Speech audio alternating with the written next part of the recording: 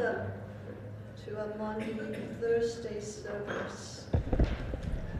Shall we all stand for call to worship?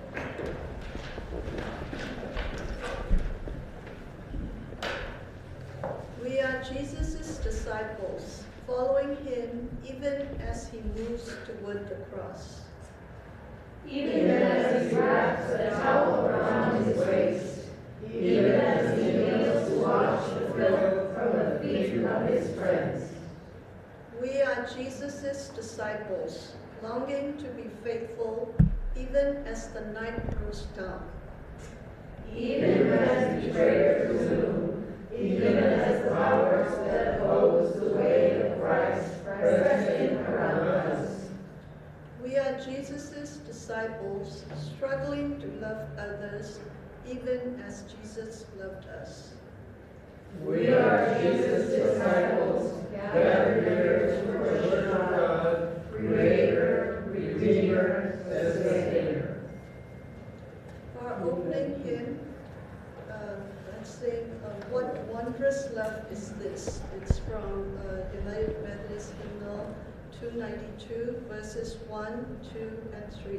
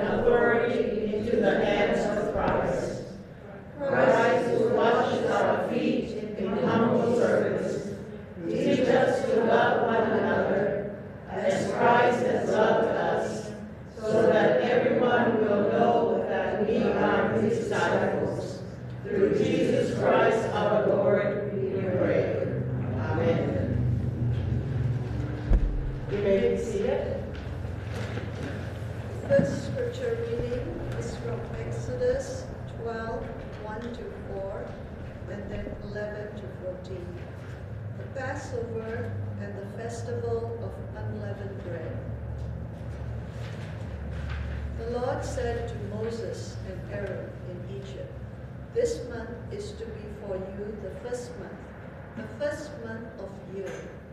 Tell the whole community of Israel that on the tenth day of this month, each man is to take a lamb for his family, one for each household. If any household is too small for a lamb, they must share one with their nearest neighbor, having taken into account the number of people they are.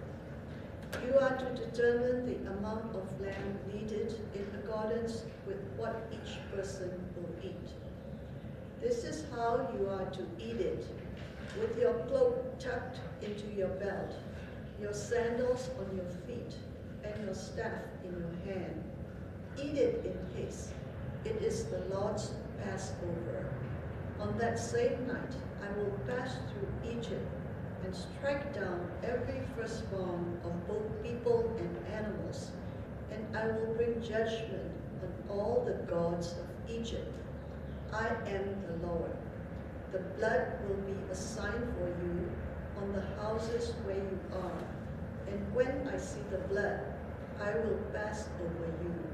No destructive plague will touch you when I strike Egypt.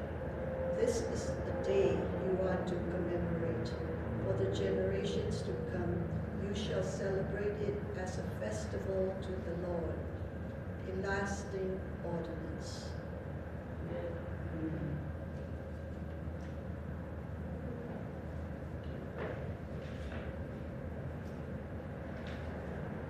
Our second scripture reading is from the book of First Corinthians, chapter 11, 23 to 26.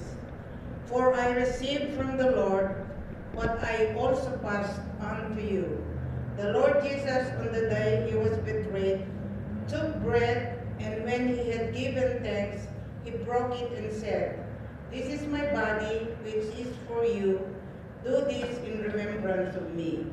In the same way, after supper, he took the cup, saying, This cup is the new covenant in my blood.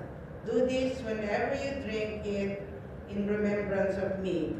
For whenever you, you eat this bread and drink this cup, you proclaim the Lord's death until he comes. Amen.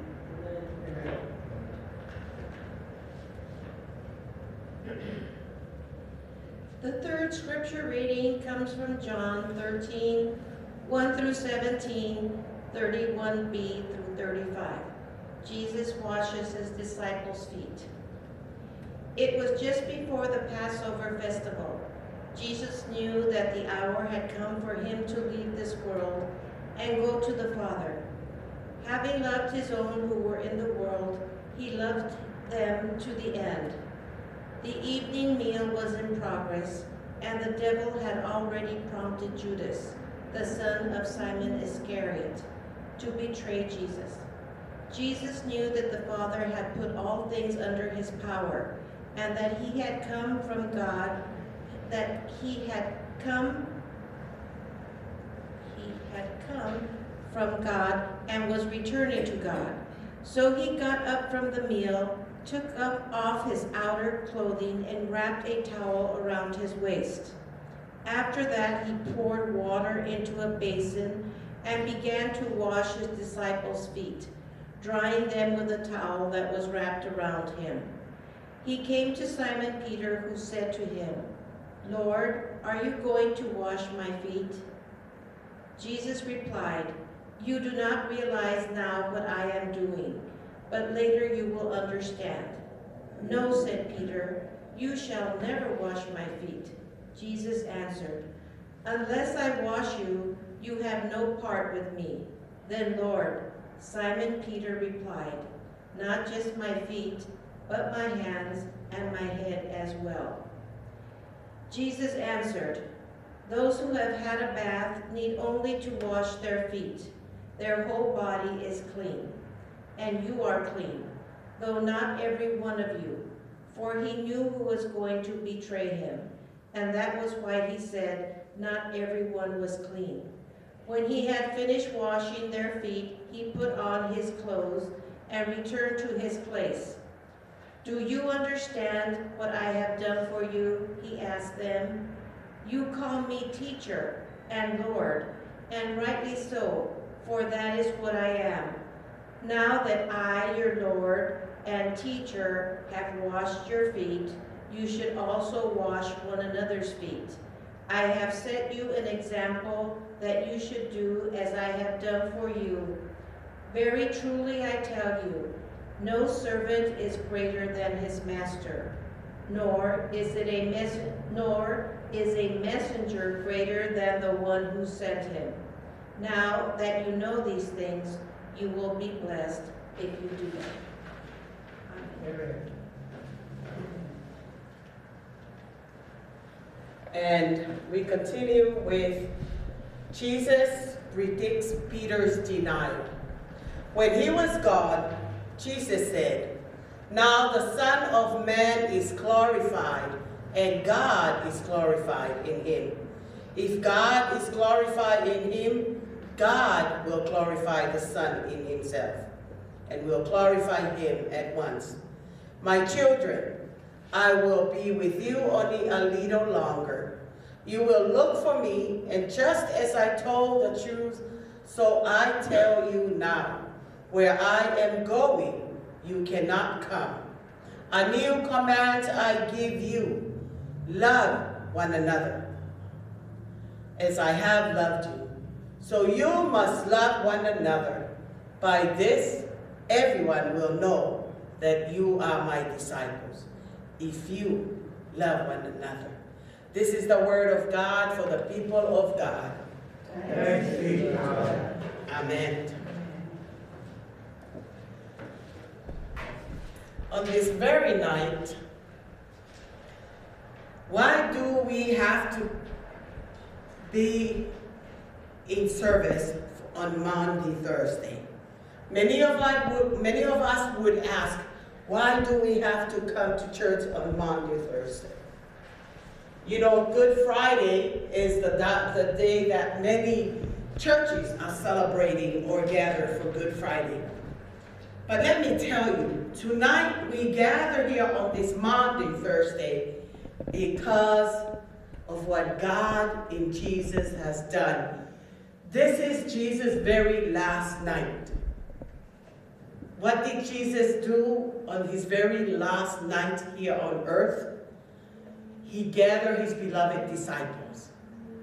They were in the upper room, and Jesus brought them together for two things. First, to wash their dirty feet, and second, to feed their soul or their spirit.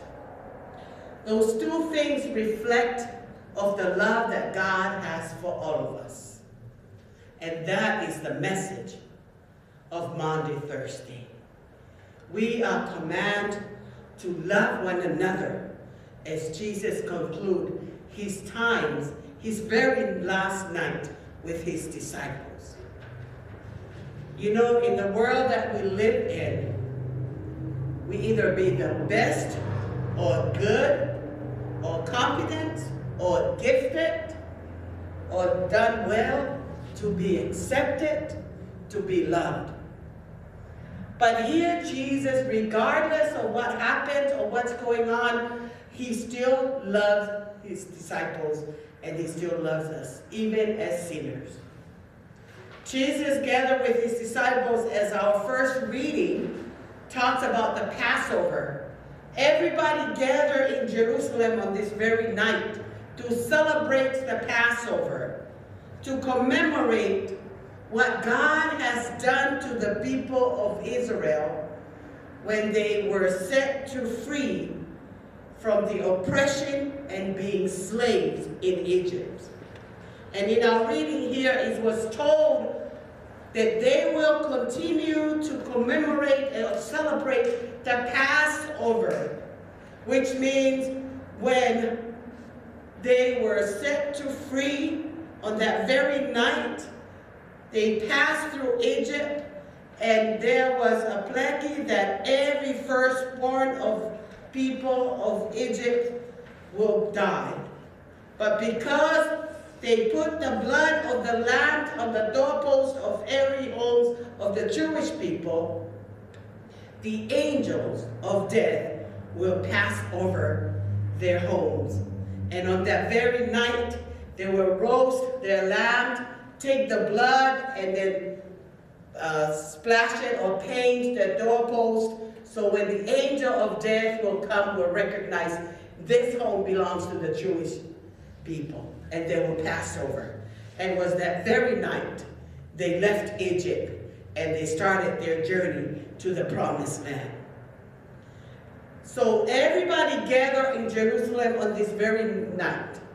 But that was Jesus' very last night of his mission, of what God called him to come to save the sinners, to save the world, to save you and I.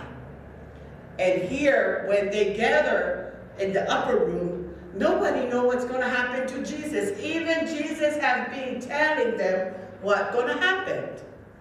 And we see what happened when they gather in the upper room. It is their tradition that they who host the dinner or those who host the gathering must wash their guests or people who come for dinner to celebrate the Passover. But instead, these disciples were rushing to the room. They all gather and sit, recline to with each other to a lower table, which they uh, come together to have the Lord's Supper. Luke Gospel talks about these disciples have been arguing who's the greatest. So we all understand why they didn't want to take the towels and the basin of water and wash their feet. Because they were focused on who's in authority, who's going to be the leader. So instead of having to wash Jesus' feet, they all rush into the table. There's a lower table, and they all recline. One hand uh, lean onto the middle of the table, and one hand with eat, for them to eat with, and their feet will be stretched, stretched out, so all their dirty feet get uh, visible as they see um, as we continue to share and know what's happening during this very night. And Jesus changed the tradition. Usually they gather, they eat, they have fellowship, and they share. But on this very night, Jesus ch changed the tradition. Jesus got up and took the bread. He broke the bread and offered the, the bread and say, this is my body. I offer to you. And you eat and you always remember. That is our second reading, First Corinthians talks about. Jesus took the cup and offered to them to drink. This symbolized my blood that offered to you to cleanse, to clean your sin, to purify your spirit, so this bread and this cup offered by Jesus to his disciples so they may fill their emptiness, their hunger for peace, for joy, for love. And then after that, secondly, Jesus got up, took off his robe, he picked up the basin, put water, took the towel, and he started going around washing each and every disciple's feet with his tender hand, loving hands. Touch their dirty feet, and you know there's no cars to drive and come to the Passover. They have been walking all day. The things that they should be doing to Jesus, instead, Jesus took the basin of water, took the towel, and started washing their feet can you imagine lying there and notice that their leader, their teacher, their Lord is doing what the servants should be doing? Touching their feet, can you imagine? When Jesus come and touch their feet, they probably don't want him to touch it, but Jesus is doing what they're supposed to be doing. Talk about the love of God. No matter what you have done or who you are. And come to Peter. And you all know Peter always the spokesperson for the disciples throughout the three years that they have been following Jesus. And then when come to Peter, he kneeled down and ready to wash his feet. And Peter said, Lord, are you going to wash my feet? I'm sure he felt that I'm not good enough for you to wash my feet. But Jesus replied, Peter, you do not realize now what I am going to do, but later you will understand. And Peter said, No, Lord, you shall never wash my feet. And I'm sure that all of us will feel the same way. If someone come to touch your feet or even wash your feet with your bare hand, because you just feel that that is your personal, private part of your, uh, you don't want people to, to touch you, especially your feet or to wash. And Peter said, no, Lord, you shall never wash my feet. And what Jesus answered, unless I wash you, you have no part with me. Then Simon Peter said, okay, Lord, not just my feet, but my hands and my head as well. And Jesus washed his feet and said, those who have had a bath need not to wash their feet or their whole bodies already clean. You are clean, thou not, every one of you. For Jesus knew there's one of them, out of the twelve, one of them will betray him that very night. Again, Jesus changed the tradition and come and fill their emptiness of their body and their soul and their spirit with giving him the bread and the cup, symbolize that he will offer his life for each and every one of them and all of us and for the world. And secondly, on this very night, Jesus washed their dirty feet as Jesus washes all our sins as he will give his life later that very night, shed his blood to set us free. Tonight, as we gather on this Maundy, Thursday, that is the message of this night.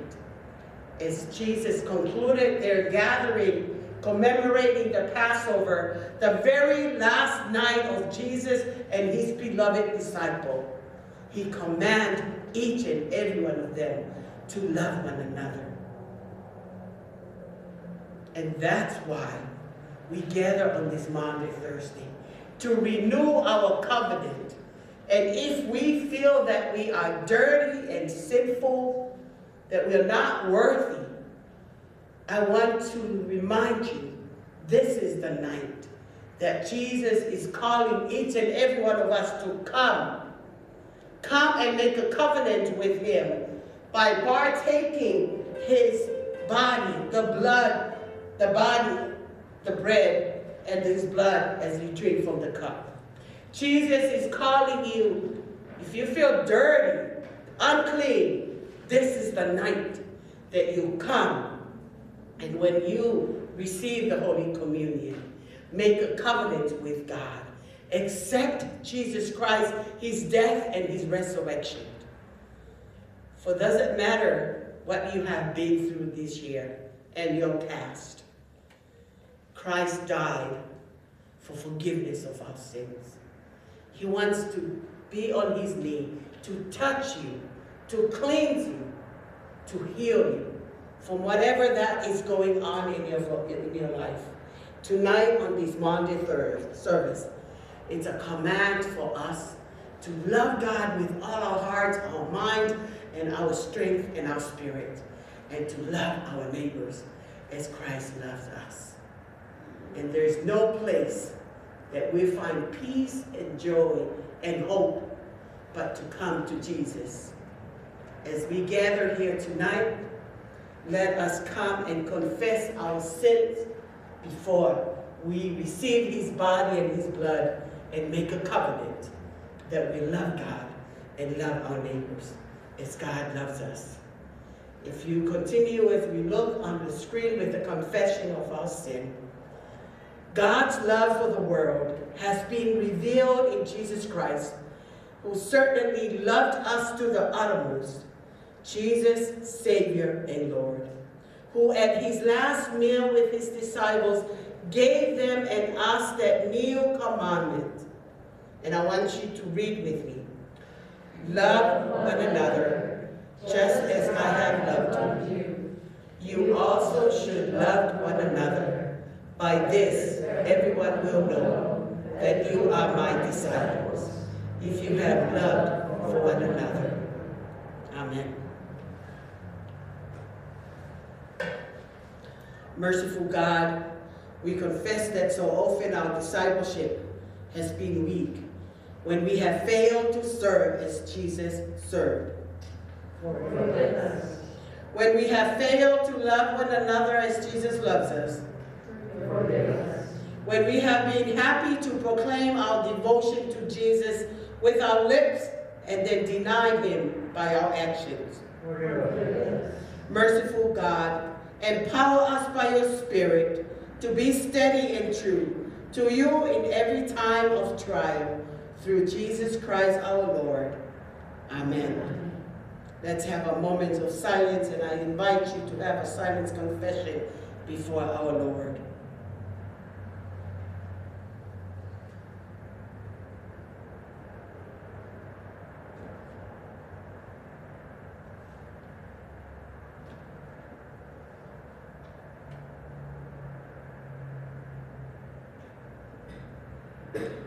And now with the assurance of forgiveness, Jesus said, I come not to judge the world, but to save the world. And having loved his own who were in the world, he loved them to the end. The good news is, my brothers and sisters, in Christ Jesus, we are loved and we are forgiven. Thanks be to God. Amen.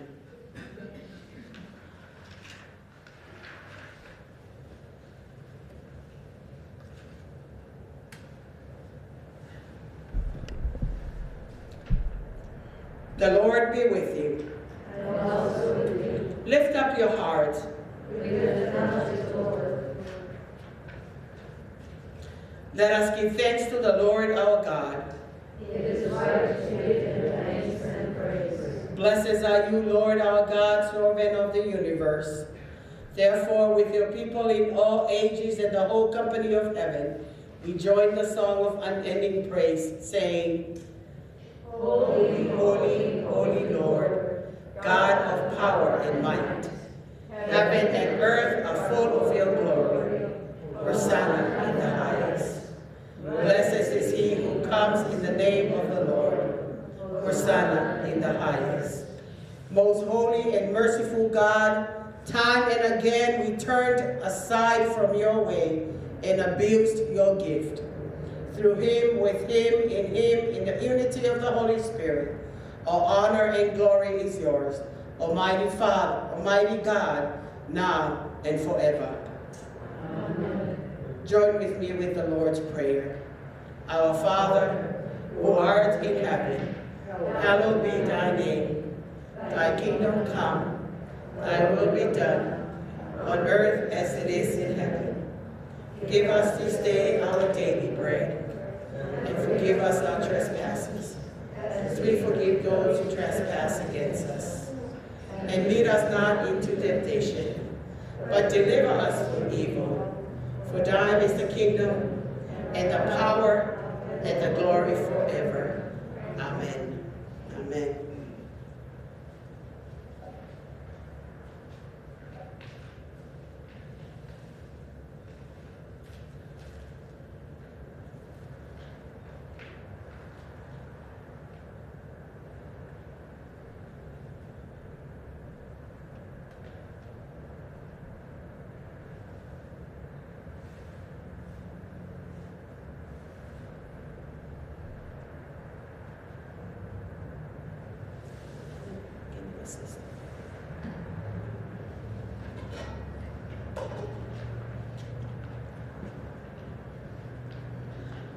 And now, my brothers and sisters, I invite you to come forward and receive the greatest gift that Jesus offered his beloved disciple in this very night.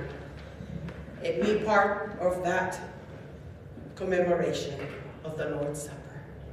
So I invite you to come and if you wanted to pray after, you may pray and kneel and pray, or you may return to your seat and pray. Make a covenant with the Lord on this very night and the command to go and love one another as Christ loves us. Amen.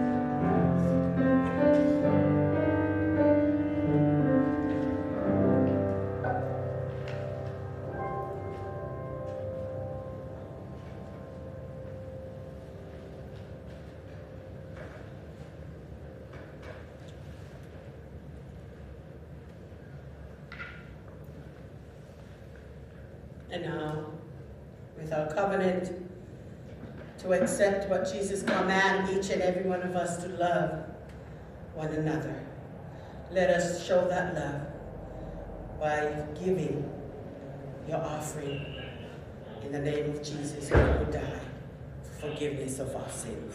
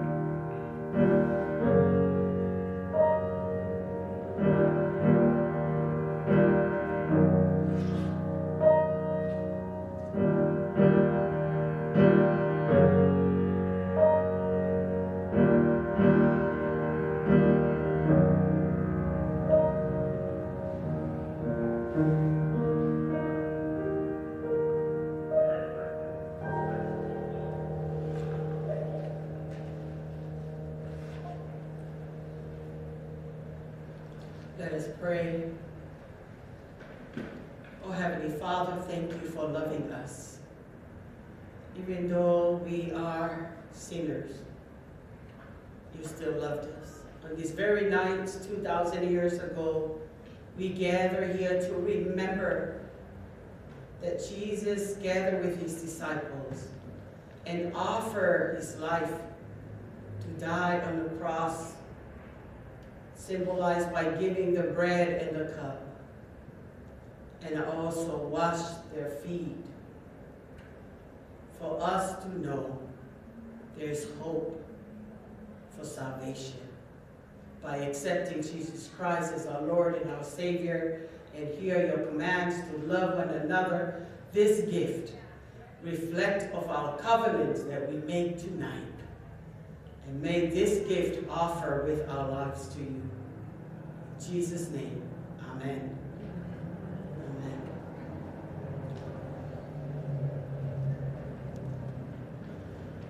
As we all know, on this night, we will invite you that you may come and take, uh, we have the black tray, we have the flour, and we have all the items on the table. I invite you to come and take one, a cup or the offering plate or the communion set, and you walk slowly as you exit in silence. And you may leave it in the back behind the table in the narthex. And we exit silently, remembering that Jesus sentenced to death on this night. Because for you, because for me. Amen.